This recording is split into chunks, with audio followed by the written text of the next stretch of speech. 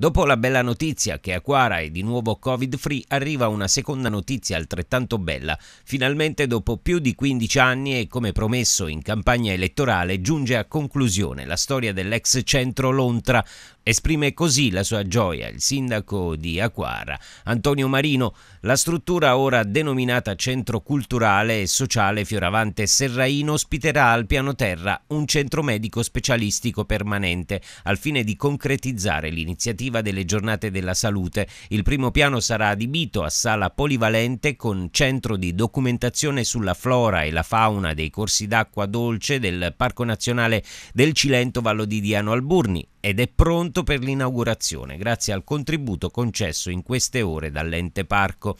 Si coglie l'occasione per ringraziare appunto l'ente nella persona del presidente Tommaso Pellegrino e del direttore Romano Gregorio e in tutti coloro che hanno creduto nel valore e nella funzione di tale opera a partire dal sindaco Antonio Marino e all'intera amministrazione comunale. Il recupero funzionale dell'intera opera, fortemente voluta dall'allora sindaco Vincenzo Luciano e membro del CDA dell'ente parco, si concluderà con la riqualificazione dell'area avviata durante l'estate scorsa scorsa nei pressi del fiume Calore in Mainardi di Aquara.